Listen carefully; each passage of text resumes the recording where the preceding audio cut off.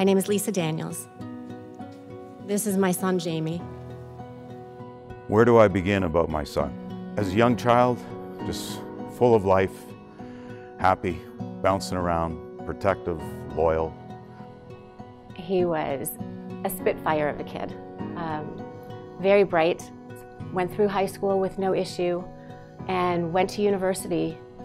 You have a feeling when a kid goes off to college, we just didn't know the extent to which that he was having fun. He was determined to uh, get into a particular fraternity.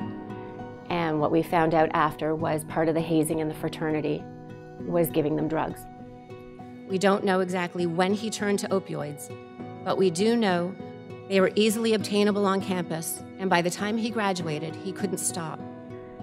And that summer of after graduation in 2015, he went into his first rehab in Michigan.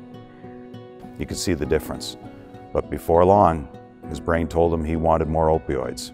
He relapsed within about two to three weeks after. It was the shame and the, the stigma that we tried to hide as a family. I watched him try to detox himself several times. Drug addicts don't want to be drug addicts. We finally found help from a psychologist in Michigan who, at Jamie's lowest point, recommended he move to an inpatient treatment center in Florida. Jamie got caught up in something that none of us knew about. In a nutshell, it is patient brokering. With Jamie, the doctor they sent him to, a self described addiction specialist, put Jamie on new medication for his anxiety. In other words, Jamie was set up to fail.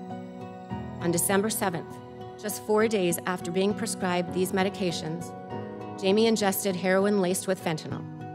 Since Jamie had been clean for seven months, that pill shocked his heart and eventually killed him. This kid right here the opioid crisis devastated our family.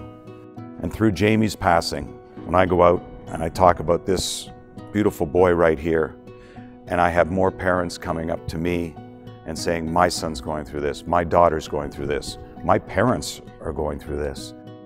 We have to work this out, and we have to do it immediately. We have to stop talking and start acting.